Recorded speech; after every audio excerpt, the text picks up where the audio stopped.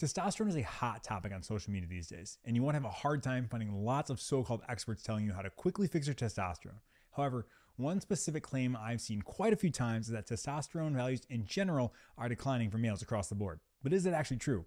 Let's discuss the nuance to this. Welcome back, everybody, to the Building Lifelong Athletes podcast. I'm your host, Jordan Rennicke. Thanks so much for stopping by. I really appreciate it. Our goal here is to help you stay active and healthy for life through practical and actual information.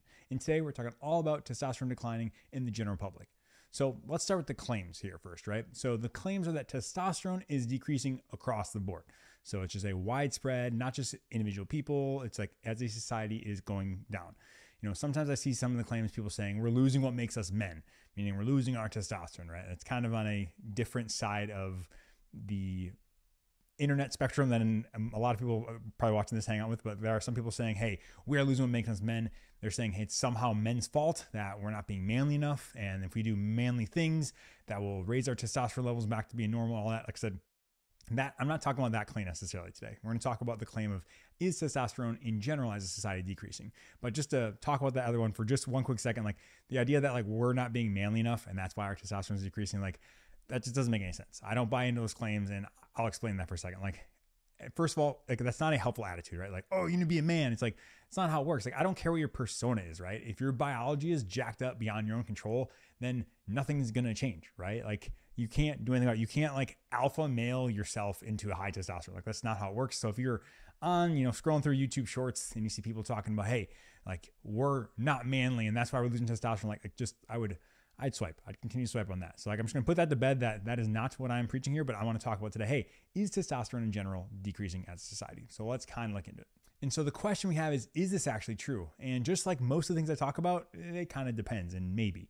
So at first, I didn't think there's anything that was going to come from this. Like, I'll be honest, I've seen this kind of all over the internet. And so I was like, okay, you know, what's this going to be? I thought it was going to be something similar like the soy topic I covered previously, saying, you know, everyone says soy is the worst thing in the world and tanks your testosterone and look into it. And there's a whole bunch of nothing there other than mechanistic ideas. And so I thought this would be more of the same, but, but there actually may be some signal to the noise here.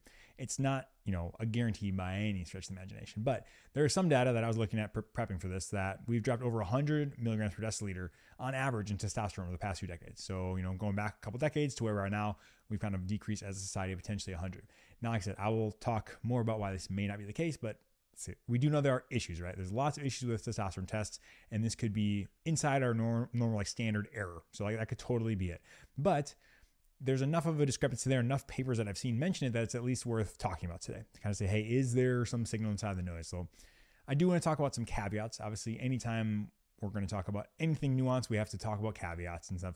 So, the first and foremost, the biggest thing and really the most important thing is that all the data on this is non experimental, meaning we're looking at trends. And so, obviously, you're like, well, Jordan, yeah, we're not experimenting. And I understand that, but we can't fully know what is the cause. We can only speculate, right? So, people will say, hey, we see this possible trend. Like, first of all, we don't know if it is a definitive trend. That's like the first thing. But then, second of all, say, hey, with this trend, like, what's going on? We will never know definitively if you know if it actually is going down what the definitive cause is. That's just how it knows. To fully know the mechanism we'd have to isolate men and their own lineage and expose some of them to some things and others to non-exposures and not having their and obviously ethically and feasibly that's impossible to do. We can't do that. So we do the best we can and try to look at the data and then adjust the numbers to account for these possible conflicting things. So that's kind of how it goes and so next thing I want to talk about though is these proposed mechanisms for why could, if our testosterone, testosterone is decreasing, what are three big reasons for why this could be happening?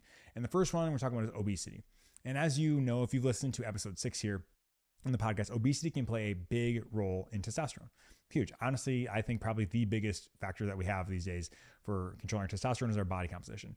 As we know, adipose tissue has the aromatase enzyme, which then converts testosterone to estrogen. So that's the main reason for why when we have elevated uh, adipose tissues, we had, tend to have an increase in estrogen, decrease in testosterone. So therefore, the idea is once have more adipose tissue equals less testosterone. And the argument is that we as a society have gotten bigger and bigger over time. And because of the increased adiposity, that's why we have lower testosterone. So that's like the one general consensus saying, hey, this could be the idea. However, it doesn't seem to track 100%. There are multiple studies that looked at these and tried to control for obesity in their analysis, and they still found a decrease in testosterone that can't be explained by just this alone. So that being said, it's obviously contributing. You know, we've talked about this ad nauseum. It's definitely contributing. It can have a effect on testosterone, but it doesn't seem to be contributing 100%. The next mechanism we're going to talk about is sickness. And I don't mean sickness like, hey, I have a cold.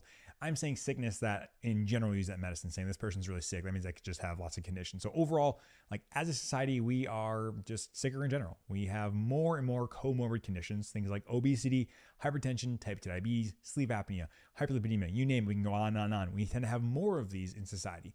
And not only do we have them earlier, but obviously we're living longer, so we tend to collect these more. And it's like I said, as I've talked about in previous podcasts, when you start to accumulate these comorbid conditions, you tend to have a decrease in testosterone. So that's pretty standard. But whether this is through, you know, aromatization, like we see in adipose tissue, or maybe a decrease in SHBG, like we see in diabetes, there are multiple factors for why it could be playing in. But that being said, is this the fact that we are only getting sick and this is the big reason for it? And once again, this doesn't explain everything, right? We've talked about when we try to control for things, we control for things like diabetes and hypertension, all those things, and it does seem to have an effect. We know that, but it doesn't seem to be one to one saying, hey, this is the reason. So, once again, not slam dunk that it's going there. And the final mechanism I want to talk about here is environmental factors. So this one seems to be interesting for me. So this is the one I probably know the least about and the one that I don't necessarily spend a lot of time focused on, but so it's interesting to learn here, but it's kind of intriguing. So we know all about lifestyle stuff, right? Like maintaining good body weight, trying to stay healthy, decrease alcohol, tobacco intake, all those things. But there are some other lifestyle things that may play a role. Specifically, we're talking about exposure to estrogenic compounds in our day to day life. And so I just want to step back, take caveat, say, no, I'm not talking about soy or soy based foods. We talked about that in episode eight, as now I'm talking about. I'm talking more about like estrogenic compounds like bisphenol A, which can be found in certain plastics. And overall as a society, I think we're much more aware about that now. We've done a lot, a big job of kind of making sure things don't have bisphenol A in it, and we've more recently started limiting all these things in our day-to-day products. But the long-term impact of them is unknown, and you know, for a long, long time, there was a very, very common component of, of plastic.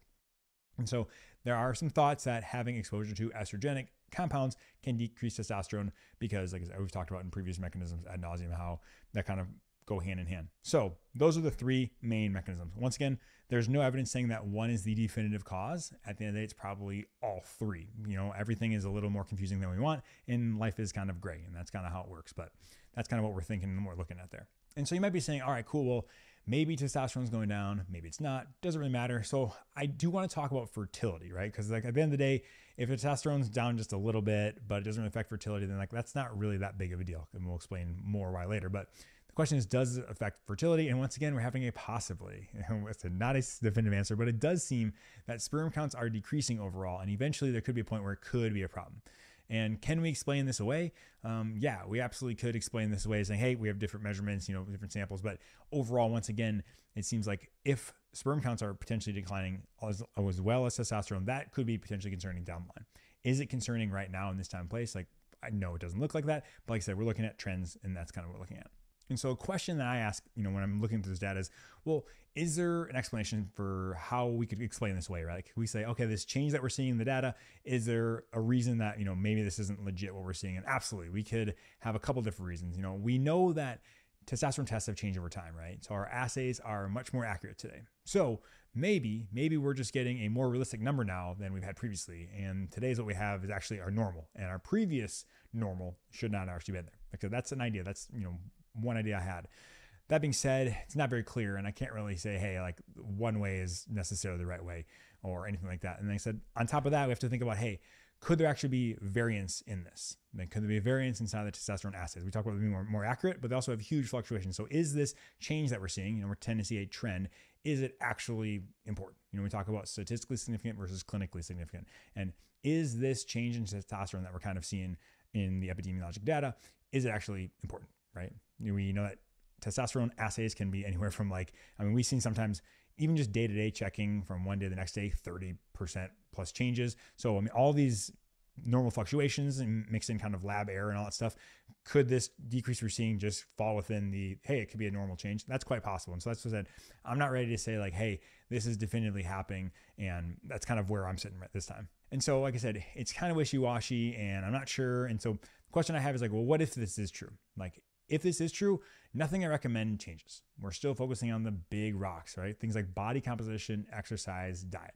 That's kind of where we want to go. And I don't like just throwing things out there, right, for no reason. I'm not about that. I think it's very easy this day and day and age on the internet to be make a big claim, like like a big scary claim, right? It's super easy to put a thumbnail up and say, like, men are dying or something like that and get clicks and then say, hey, this is the end of the world. Like at the end of the day, I don't think that's helpful. And so, like I said, I'm not trying to scare people. I don't think scaring people into health works. I mean, if it, if scaring people and threatening people worked, we would have a answer to the obesity problem, right? Like we just know it doesn't necessarily work. So I'm not trying to scare people. However, I think it's important to know of a potential problem and pretend like it doesn't, not pretend like it doesn't exist, right? So if this is a thing, like we see this trend, hey, maybe it's happening, maybe it's not. I don't want to just put my head in the sand and say, like, oh, I don't care about it. Like, I'm not sure. Like, no, I think you deserve to know. And I like looking at this and, and learning from it too. So I want to make sure that we're kind of forecasting, looking and saying, hey, this could be happening. This is something that could be a problem in the future. So I don't want to pretend like it doesn't exist. So, and I like that because once we know a problem, we can attack it, right? And the same thing goes here. If this is something that's going on, we can kind of make changes, potentially change it. You know, one thing that we can do here, you know, it's not as easy in terms of personal changes for this, right? So it's not like 100% if you lock in your lifestyle in terms of your body composition and your diet, like, you know, there could be other factors going on. So things like the environmental factors we talked about. So it could need changes from a higher level, more systemic or governmental involvement is something we think about. But that being said, I'm all about taking personal accountability and there are certain things you can do to maximize your lifestyle, right? So obviously potentially avoiding estrogenic compounds, specifically like bisphenol A, other estrogen, like known estrogen containing compounds.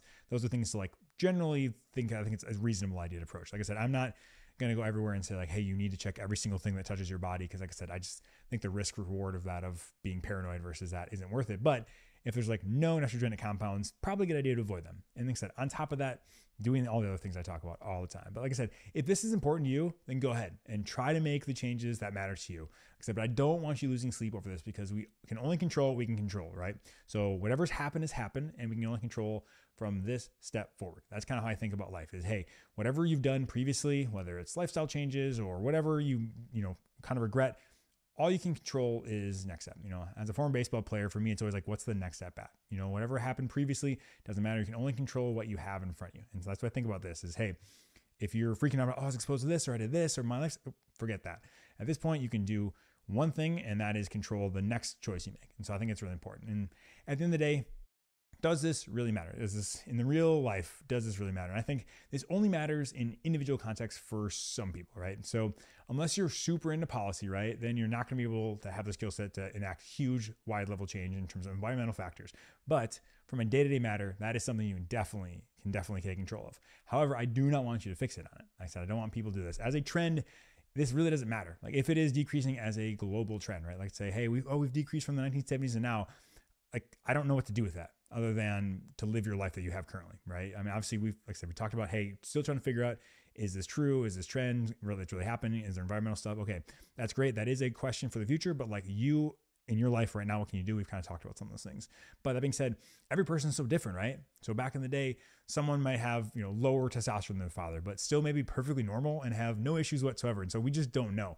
And once again, just looking at a number, this is kind of a theme we've talked about over and over and over again, is that I never just look at a number, right? So if we just look at a number and say, oh, my testosterone is 600 and it should be 700 like well do you have any symptoms? Like is anything else going on? And so i don't look at just numbers and say hey this matters the most. And so i will look at everyone as an individual person right?